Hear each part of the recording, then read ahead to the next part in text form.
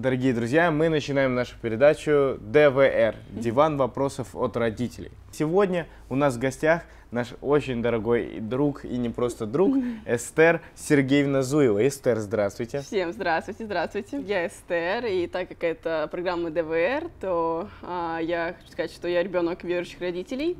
Вот, и у нас будет сегодня много-много-много вопросов о том, как расти и Оп. каково это было. Вот, поэтому я предвкушении ваших вопросов. Э, ну, давай начнем сразу же Мгм. с таких главных, которые касаются родителей. Вообще, каково это было расти в семье верующих? Это было, с одной стороны, очень классно, потому что это и покровительство, это и мудрость, которой ты набираешься, но с другой стороны, было тяжело в плане того, что ты постоянно должен быть примером. Как ты вообще относилась к тому, что ты должна была быть примером? И- Ну, а, конечно, мне это раздражало, потому что когда ко мне подходили члены церкви и говорили, Эстер, ты дочь пастора, ты же примером должна быть, я как бы очень обычно негативно отвечала, как-то немножко даже грубовато. Но потом я поняла, что, я думаю, даже со временем, когда уже повзрослела, набралась мудрости, я поняла, что на самом деле это ответственность. Если мы хотим быть людьми влияния, то нам нужно брать ответственность, потому что всегда ты пример. Поэтому это важно. Ну, а, судя из твоего предложения, а, очевидно, что тебе в какой-то степени был интересен мир. Насколько это так? А, да, потому что когда я училась в школе, и мне как-то не было интересно проводить время с э, детьми из церкви, как-то мне казались они скучными, вот, и мне как-то больше интересовали люди там со школы, с мира, потому что какие-то были свободные, они меня не осуждали, и как-то просто была какая-то легкость, то, что ты не должен быть примером, ты просто обычный человек, и никому ничего не должен доказывать, ты не должен правильно говорить, правильно мыслить, там, не дай бог, что-то не так скажешь, и в этом плане, конечно, да, у меня было такое время, что мне как-то больше времени проводила с мирскими, Ну, нежели с тебе верующими. было стыдно от того, что ты верующий там в школе, где-нибудь, где ты была? А, ну, нет, не было, был просто напряг. Был напряг, потому что а, мы, я очень часто меняла школу из-за того, что мои родители, родители постоянно переезжали, вот, и когда мы учились а, в городе Ноябрьске, это такой маленький городок, и там, получается, было а, как, как некая как деревня, знаете, а в деревне все, все все знают и говорят, и в этом городе, получается, там, Маленький это, город. это 100, 100 тысяч населения, и там была только одна церковь, вот, и, конечно, церковь была моего отца. И когда я пришла в новую школу, последнюю, которая там училась, то учительница настраивала всех детей против нас. Она говорила, с ними не общайтесь, потому что это сектанты. Но мы все равно были такие очень дружелюбными, и нас все дети любили, и как бы я любила школу, потому что это приходило как на праздник. Даже несмотря на то, что учителя настраивали против, против нас, люди видели наши, наши отношения к ним, то, что мы жизнерадостные, то, что мы веселые, кайфовые, и поэтому не было никаких проблем именно с учениками.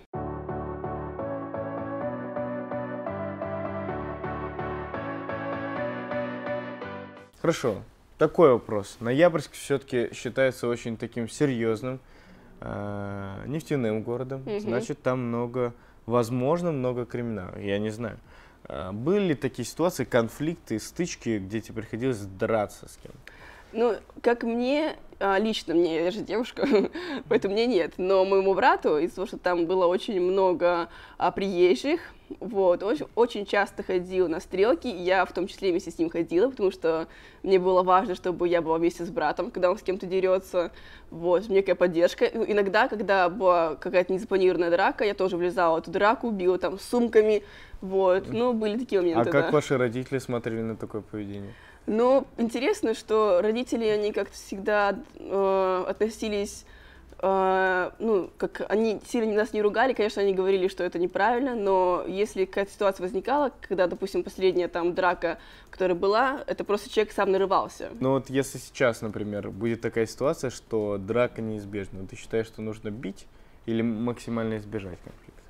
Ну, это, конечно, все зависит от ситуации, но не знаю, я, я, я понимаю, что, допустим, идеально, в идеале все решить словами, но бывает, когда просто неадекватный человек, его просто нужно как-то не то, чтобы побить, но как-то на место поставить его, Усмирить. усмирить, да. А, давай лайфхак от Эстер. А, как усмирить, если ты верующий, как усмирить а, человека, который на- нарывает? Я думаю, нужно как-то так взять человека, и чтобы максимально постараться как-то его не заблокировать его движение, чтобы он ничего не мог сделать. Вот, не бить его, а просто как-то, знаете, как вот прием использовать, чтобы он просто так лежал и, и ничего не смог сделать. Это самое идеальное. Так, и ну, ты и побил, и в том числе и заблокировал его движение. Не знаю, насколько правильный этот совет сейчас, но э, лучше слушать. Хорошо, давай к сложным вопросам такие. Если у тебя, э, ну, наверное, во-первых, у тебя сильное отношение с Богом, я на это рассчитываю. Э, Есть ли у тебя неразрешенный вопрос, который ты не понимаешь с библейской точки зрения ну, вот сейчас? Вот у меня был один такой вопрос, я всем его задавала.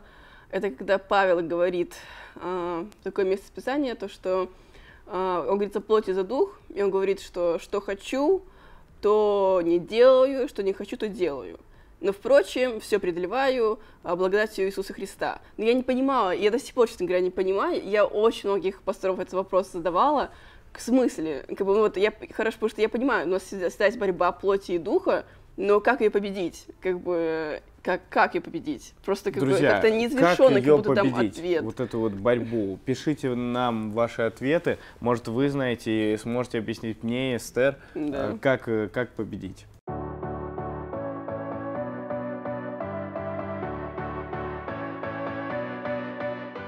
А сейчас у нас рубрика «Притчи» или «Пацанский цитатник» Мгм. с Эстер Зуевой. Итак, э, брат за брата за основу взят.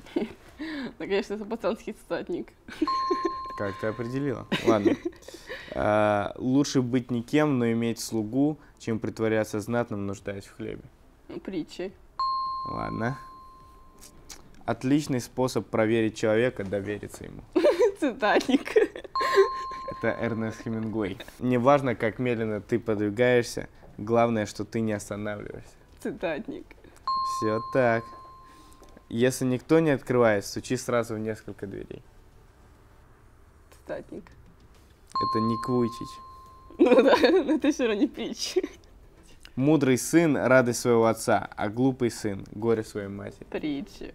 Так, смотрите, она пока что побеждает. Мудрые люди обдумывают свои мысли, глупые провозглашают их. Ну это цитатник. Ладно, с нами была Эстер. Все правильно. О, Аплодисменты. yes!